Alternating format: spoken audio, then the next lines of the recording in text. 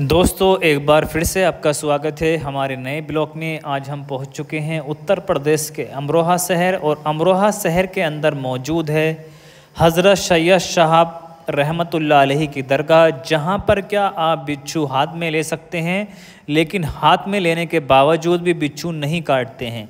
जी हाँ दोस्तों, आज हज़रत सैयद शाह साहब रहमतुल्लाह अलैहि के करामतों के बारे में ज़िक्र करेंगे और आपको बताएँगे इनका इतिहास कब ये हिंदुस्तान के अंदर आए और कहाँ से आप तशरीफ़ लेकर आए थे हिंदुस्तान के अंदर? ये सारी जानकारी आज हम देने वाले हैं अपने यूट्यूब चैनल के माध्यम से दोस्तों।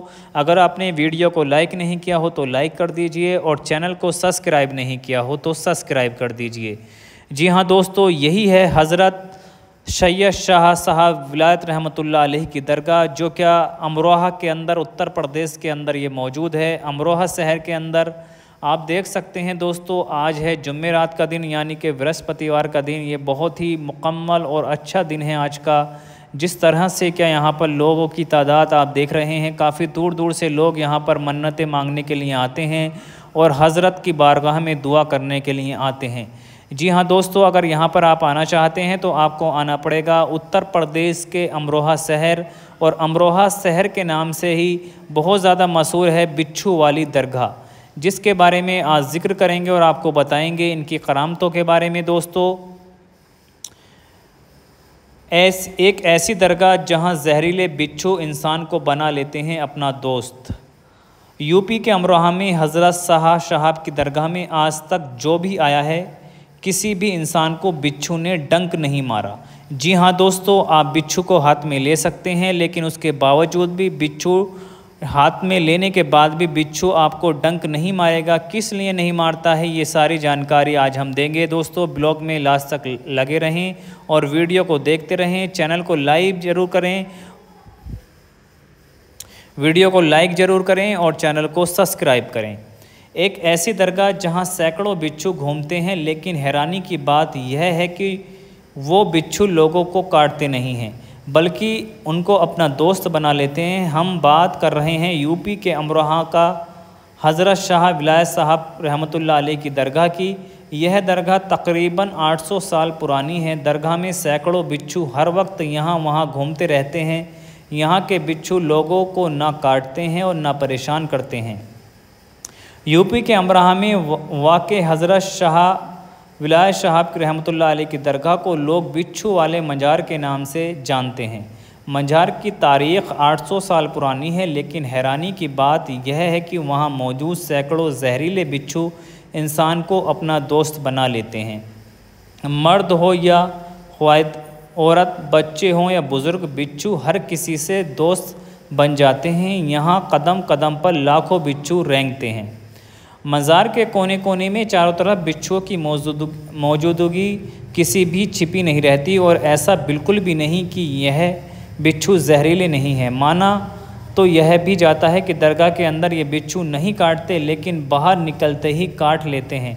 दरअसल मान्यता यह है कि कोई इंसान इन बिच्छुओं को हफ़्ते या दस दिन के लिए बाबा से इजाज़त लेकर दरगाह से कहीं बाहर ले जाता है तो वो उसे नहीं काटते। लेकिन तय मुद्दत पूरी तय हो, उसी तुरंत काट लेते हैं। यानी कि 10 दिन के बाद जैसे कि कोई इंसान 10 दिन के लिए बिच्छुओं को ले जाता है, लेकिन 10 दिन से अगर एक भी मिनट ज़्यादा हो जाता है तो तुरंत बिच्छू काट लेते हैं। लेकिन आज तक किसी भी यहाँ आए किसी भी इंसान को बिच्छू ने डंक नहीं मारा। जी हाँ दोस्तों, हम आपको बिच्छू हाथ में लेके दिखाएँगे आगे, और किसी भी तरह का डंक नहीं मारते हैं। बिच्छू वीडियो में ज़रूर लास्ट तक लगे रहें। ये एक बहुत ही बड़ी मन्नत वाली दरगाह है, जहाँ पर क्या लोग अपनी अपनी मन्नतें लेके आते हैं और हज़रत रहमतुल्लाह अलैहि से दुआ करते हैं। तो दोस्तों, ये जो दरगाह है, ये अमरोहा के अंदर मौजूद है, जिसको क्या बिच्छू वाली दरगाह के नाम से जाना जाता है। मज़ार पर आने वाले हकीकतमंद बताते हैं कि मज़ार की अफो हवा को एक ऐसी यहाँ आने पर किसी के भी जहन में मौजूद माफ़ी और बुरे ख्याल ख़त्म हो जाते हैं। ये दरगाह गंगा, जमुनी, जमुना तहज़ीब की भी मिसाल है, जहाँ हिंदू, मुस्लिम तबके के लोग दूर दूर से मुरादें मांगने आते हैं। दरगाह के ज़मीन, छतों, दीवारों और आसपास के बगीचों के पेड़ों के जड़ों के पास मिट्टी हटाने पर ढेरों बिच्छू निकलते हैं। कहा जाता है कि करीब 800 साल पहले ईरान से सैयद सरबुद्दीन शाह विलायत ने अमरोहा में आकर डेरा डाला था।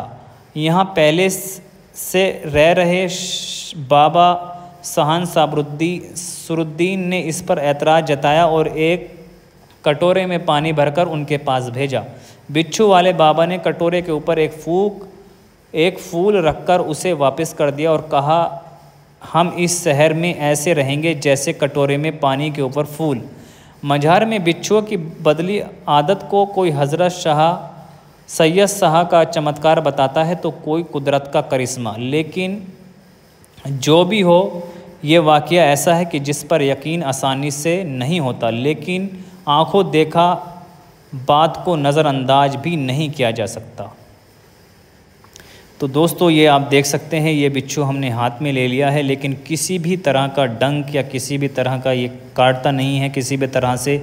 ये बिच्छू जो क्या उत्तर प्रदेश के अमरोहा में ये दरगाह मौजूद है। बिच्छू वाली दरगाह के नाम से इस दरगाह को जाना जाता है। आप देख सकते हैं, हम हाथ में लेने के बावजूद भी बिच्छू नहीं काट रहा है। तो दोस्तों, यही है बिच्छू वाली दरगाह। जिसमें कि आप हाथ में बिच्छू ले सकते हैं, लेकिन उसके बावजूद भी आपको बिच्छू नहीं काटेगा। जी हाँ दोस्तों, ये है हज़रत साहब की करामत, जिनको क्या हज़रत सैयद साहब रहमतुल्लाह अलैह के नाम से इस दरगाह को जाना जाता है। ये उत्तर प्रदेश के अमरोहा शहर के अंदर है, बहुत ही ज़्यादा फ़ेमस है ये दरगाह। इसी ज़िले के अंदर नहीं, बल्कि हिंदुस्तान के कोने कोने में कोने कोने में लोग इस दरगाह को जानते हैं। तो दोस्तों वीडियो को लाइक करना बिल्कुल ना भूलें और चैनल को सब्सक्राइब करें। इसी तरह की हम वीडियो आगे भी आपको बना के दिखाते रहेंगे। Thank you for watching my YouTube channel